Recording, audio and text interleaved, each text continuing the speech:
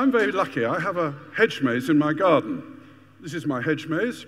I'm one of 37 twins, and we currently have a, an infestation of maze makers in my garden. I'm the only survivor. I've come to Cluj to uh, tell you all about mazes and how they are crucial to the happiness of mankind. Now, I've been traveling around the world for 47 years, creating intense acts of creation. And I find building mazes certainly gives me the chance of intense acts of creation. And I want to share what this has to mean to us. When I was a boy, I was fascinated by puzzles and networks. Um, I studied Latin. On one occasion, I was designing a cops and robbers game, board game, during a Latin lesson. And to his great credit, my Latin teacher, Mr. Corbett, only tore it in half because he was kind and he knew I could stick it together again. And he knew really I wanted to design cops and robbers games. When I was a boy, we used to make rafts on the rivers, build tree houses, make aerial runways. I even built a hedge maze in the garden. These are the sort of things that fascinated me. And rather than a life of academia, I went and worked in industry, in printing, telephone exchanges, undersea cable industries. My work was to review production methods and improve productivity. This is everything you do in life seems to be valuable. I couldn't see how, because I knew there was more for me to discover. I wanted to jump into the cold, icy water and go around the world creating mazes. Now, why do we find mazes so compelling? Well, as children, we all want to explore the world around us. We want to discover what's forbidden and out of sight. Could this playful spirit also transform our working lives? I've built over 700 mazes around the world, and these are built in all kinds of uh, styles. These are examples of corn mazes where you can have a wonderful pictorial picture, in this case, uh, of a sailing ship. Um, you can build them out of all sorts of materials. This one is in Finland of a wooden panel maze. It's an intense act of creation. Now, my work isn't entirely playful. Uh, it's not quite like play. I part built maze. Can't, you can't just build half a sand castle, be led away to drink a beaker of orange juice, and never come back. No, you've got to come back. Otherwise, at least, not least, you don't get paid, so you must finish the project. And another thing, you can't just have a pretend bridge. It's got to be real and strong and safe. So, apart from that, most of the attributes of play remain in my life. And that's because every project I do is a unique beginning, middle, end, start, finish objective, and deliver. And that approach means that I'm constantly varied in terms of what I do, who I meet. I'm the ultimate bee that's cross pollinating between different flowers, different cultures, different kinds of organizations. I jump from silo to silo at a time when we need more jumping from silo to silo. I can point out things that work in museums that might be appropriate to a science center or a zoo or a historic house or an airport. Other than that, my whole lifetime is intense acts of creation. It's hugely, play, hugely playful, and the more playful I am, the more effective I am. I mean, I'm working with a client, and it's rather like a painter. I have to get, get to know the person as if they're sitting for a portrait. And until we understand each other, he trusts me and I trust them, and then we share the sense of humor over a meal or whatever. Then he smiles, and now I can capture it with my paintbrush. And until then, we don't have that spark of creativity. And in fact, it's more like an arch. I don't know what we're going to create, nor does the client. It's two halves of an arch. If either falls, we fail. Together, we do something neither of us knew was coming. And that's one of the excitements. It's completely unknown territory every week of my working life. Right, here we go. Now, in 1981, at Greys Court in England, uh, my late colleague Randoll Coate and I designed the Archbishop's Maze for Lady Brunner. Um, she was warmed to the project and she thought it'd be great to build a hedge maze, uh, maze in her garden. She insisted that everything should be done by people on her estate. She referred to Henry V in Shakespeare's description of the Battle of Agincourt as our band of brothers. For example, the apprentice in the forge made the sundial here. He used the biggest oil drum to make the biggest ring. It was good, but it was hardly the most beautiful or most accurate sundial. But for Lady Brunner, the act of creation and the spirit of her team was the most important thing. And then she invited Dr. Robert Runcie, the Archbishop of Canterbury, and he came and dedicated this Christian maze. Randoll went, and I went on to create 15 mazes together in magnificent landscapes sometimes. This at Blenheim Palace, and we built a maze at Leeds Castle, which is in Kent, and the idea was the castle would draw more visitors if we had the maze to take up the public uh, rather than all being in the castle. The design of the maze is symbolic like this, and then underneath the tower is a grotto. We also created the Beatles maze in Liverpool, and the exciting thing about the Beatles maze was you know, un, you know, recognizable yellow submarine. And so, therefore, we created a submarine in the middle of the maze. We take stories like the story of Alice in Wonderland. Now, see this hedge maze here? And I tell you, it's about Alice in Wonderland. But let's look at the design. The design abounds in symbolism.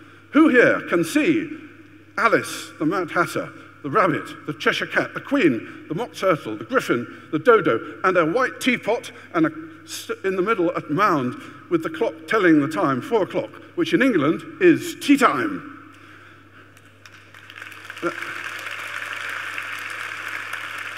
Right. We go to Scone Palace, in, and for 400 years, the kings of Scotland were crowned at Scone, so it's a very special place. And we built the hedge maze in the foreground uh, a few years ago. And the Murray star uh, is in the shape of the five pointed heraldic star of the um, Murray family. And it's, it's, also got woven copper and green beech hedges to look like um, the tartan of, and so on, which is the first time we used two colours of hedges. Now, the Chateau de Thoiry in France has perfect proportions, and on, it's precisely aligned to the midsummer solstice. So Paul de la Panouse, the Viscount, was very keen to have something really symbolic. And we created a wonderful symbolic maze with nine bridges, which creates an incredible three dimensional network. Now, at Speke Hall in England, one of the fi finest half timbered houses, we built a hedge maze with lots of bridges. And we also had gates you can move. So you can change the design of the maze from moment to moment, a different design every day of the week. So using decorative maze gates, secret arbors, and distinctive art. Now, back one.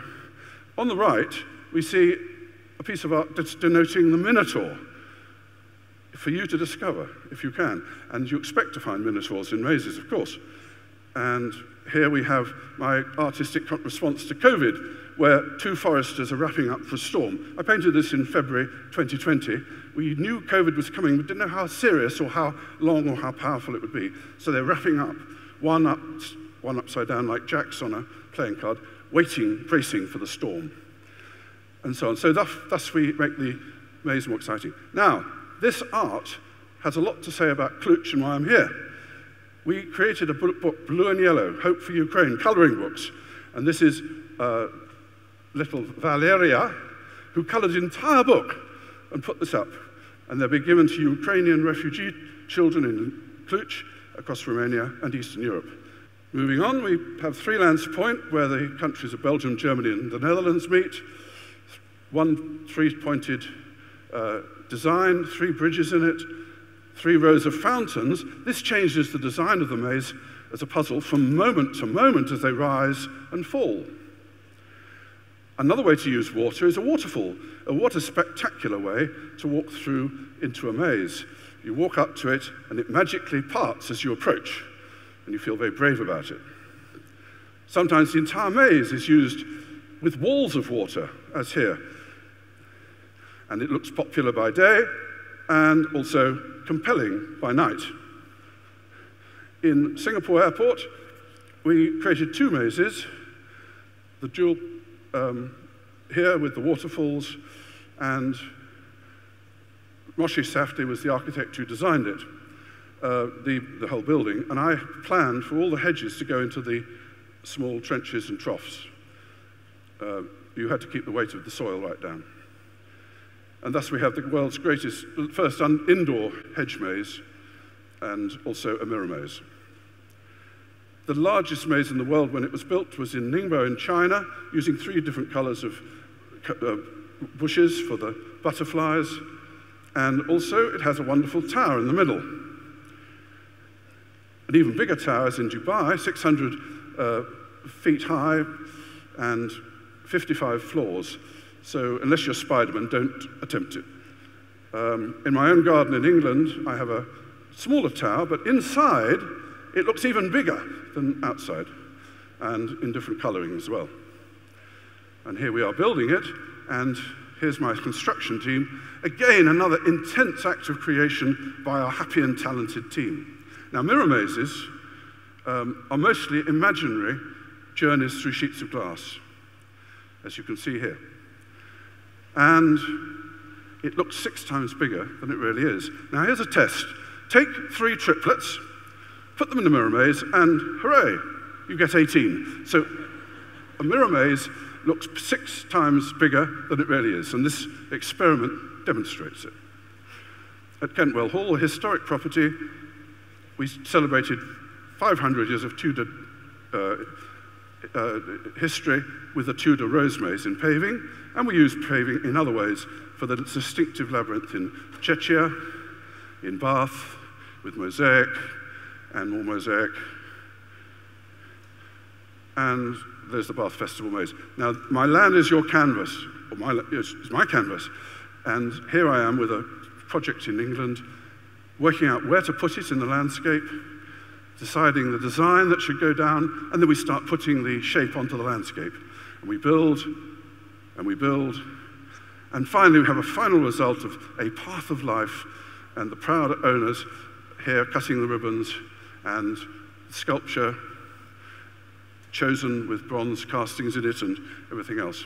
So off we go, and quickly we draw a conclusion to this talk. What is the essence of a maze experience? It's doing things together in a beautiful place, humanly and face to face, coming out together, walking tall, and feeling better about ourselves and each other. And I think I've got the best job in the world for life, and I wish each of us do have too. Um, I, your life is your furrow, only you can plough it. So there's only one seat on the tractor in the driver's seat, yours. So let each of us have the best job in the world, give us fulfillment to spread better experiences to the lives of others. Let us truly celebrate our humanity through intense acts of creation.